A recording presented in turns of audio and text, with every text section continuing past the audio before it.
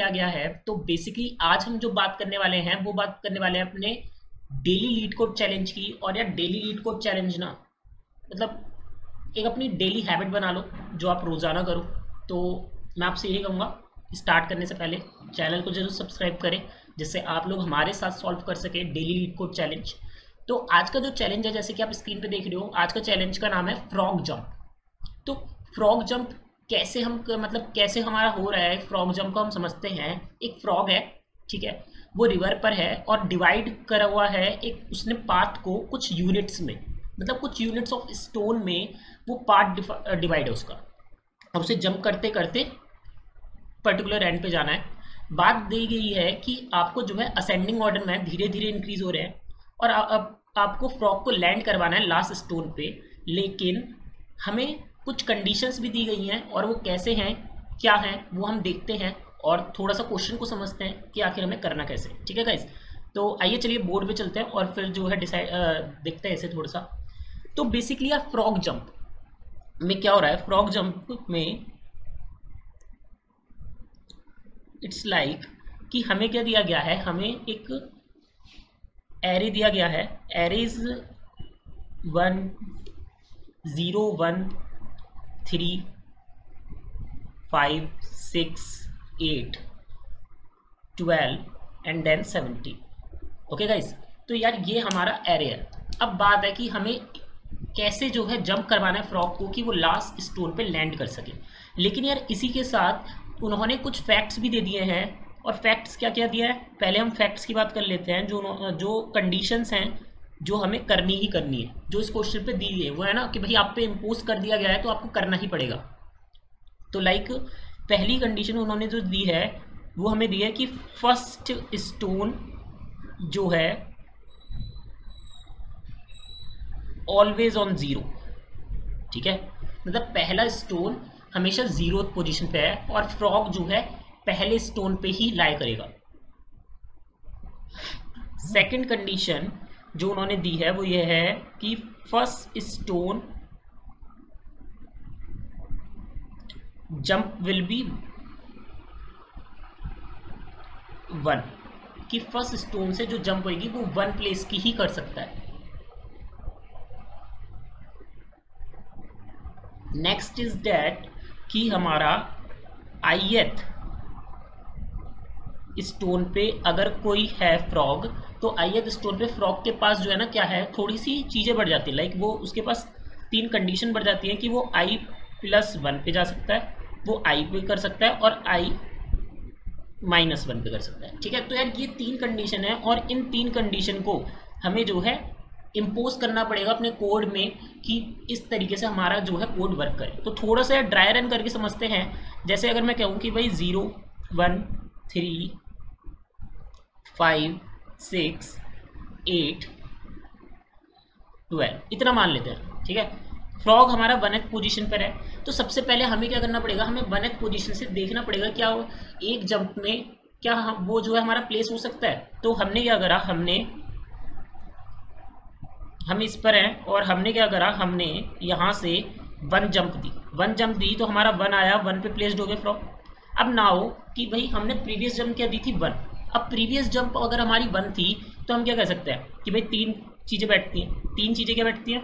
Zero one और to जैसे हमने बताया था, जितनी नंबर ऑफ़ जंप्स लेके फ्रॉक जो है प्लेस करेगा, हम उसका ही के माइनस वन के और के प्लस वन वे में हम उससे कर सकते हैं, ठीक है? तो अगर मैं कहूँ, मैं वन बाय वन चेक करता हूँ, अगर हम ज़ीरो एड ऑन करते हैं, क्या वो आगे प्लेस कर पाएगा? नहीं यार। तो ये तो हमारा हो गया क्रॉस अगर हम वन प्लेस करते हैं, क्या वो आगे जा पाएगा? वन वो ऑलरेडी है वन और यूनिट हम डालेंगे जो टू क्या टू हमारा एग्जिस्ट करता है? नहीं यार। तो ये भी नहीं लेकिन अगर वन में हम टू एड ऑन करेंगे तो क्या हो जाएगा? तो हमारा थ्री आ जाएगा। तो ये हमारा जो है थ्री पे प्लेस हो जाएगा with jumps of two now two jumps तो टू जम्प्स हुई तो हमारी तीन बातें हुई। तीन बातें क्या हुई? टू वन और थ्री नाउ कि हमने चेक करा, क्या हम वन डालते हैं तो क्या वो नेक्स्ट पे जा पाएगा? नहीं यार। टू डालेंगे तो? यस बिल्कुल। तो इनिशियली टू जम्स हुई, लेकिन हम थ्री के लिए भी चेक करेंगे। अगर थ्री डाला तो हम डायरेक्ट सिक्स पे आ जाएँगे। ठीक है? और यहाँ पे हमारी जो है थ्री जम्प्स हम लेकर सिक्स पे पहुँच सकते हैं। ठीक है? इसके बाद हम क्या गए? हमने फिफ्थ वाले के लिए चेक करा। मतलब बारी बारी हमें ऐसे चेक करते करते लास्ट तक जाना है और लास्ट तक हम पहुँचते हैं, नहीं पहुँचते, ये हमें देखना है, ठीक है? तो देखते आइए कैसे हम इसे कोड करेंगे। थोड़ा सा समझते हैं कि बेसिकली मैं इसके लिए क्या लेने वाला हूँ। हम क्या लेने वाले हैं? आप चाहे तो वेक्टर भी ले सकते हैं, लेकिन हम यहाँ पे क्या लेने वाले हैं? हम यहाँ पे hash map with hash set लेंगे, क्योंकि हैश सेट क्यों लेंगे? सेट से क्या फ़ायदा हो जाता है? सेट से डुप्लीकेसी का रिडक्शन हो जाता है कि हमें डुप्लीकेसी पे में जाने की ज़रूरत नहीं पड़ेगी। जैसे क्या होता है कि दो लोग सेम जंप दे रहे हैं। ठीक है? तो उसके से डुप्लीकेसी क्रिएट हो जाएगी। तो वो डुप्लीकेसी ना क्रिएट हो, इसलिए हम सेट ले रहे हैं, ठीक है? तो सबसे पहले कोड पे चलते हैं और तो गाइस फ़र्स्ट हम कोड करना स्टार्ट करते हैं। तो कोड के लिए हम क्या करेंगे? अनऑर्डर्ड मैप बनेंगे एंड अनऑर्डर्ड मैप में अनऑर्डर्ड सेट बना के इंट का हम अपना मैप को कंप्लीट कर लेंगे। देन हमने मैप बना लिया। तो हमें पता है यार, हमारी फैक्ट कंडीशन पहली थी कि भाई ज़ीरो हो तो ज़ीरो पे ही मतलब हमारा जो है, अगर ज़ीरो स्टोन है तो ज़ीरो पे ही वो लाई करेगा, कोई जंप नहीं होगी। तो नंबर ऑफ़ जंप वहाँ पे क्या होगी ज़ीरो लाई करेगी। तो हम यहाँ पे यही करेंगे। हम कहेंगे कि भाई अगर stone stones of zero set में ज़ीरो रखो। ठीक है? तो ये हमने जो है यहाँ पे फ़र्स्ट कंडीशन वो कर दी। नाउ हम क्या करेंगे? हम वन बाय वन सभी स्टोन्स के साइज़ पे जाएँगे।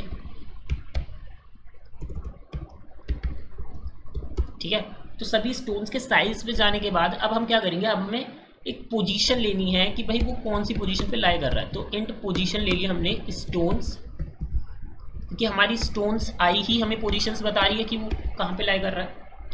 देन हमने क्या करा? हमने चेक करा auto I T dot M P dot position की। अब जो ये पोजीशन है, इसकी आईटी से मैं कितनी जंप में जा सकता हूँ? तो मैंने उसके लिए लगाया जंप के लिए हमारे पास एक लूप है कि हम आई टी माइनस वन से लेके आई टी माइनस वन कर सकता हूँ मैं? अब आई टी माइनस वन से लेके मैं क्या जा सकता हूँ? मैं jump greater than equal to I T plus one तक जा सकता हूँ, ठीक है? I T minus one I T और आई टी प्लस वन ये हमारी तीन पॉसिबल केसेस हैं जो हमने यहाँ पे डन करे हैं। ठीक है? तो इतना काम करने के बाद अब मैं क्या करूँगा? अगर जंप जो है, वो या तो ज़ीरो हो जाए या नेगेटिव में हो। तो यार वो हमारे किसी काम की नहीं है। तो हमें क्या करना है? उसे बड़े वाले पे ही चेक करना है। तो M P dot stones dot I plus jump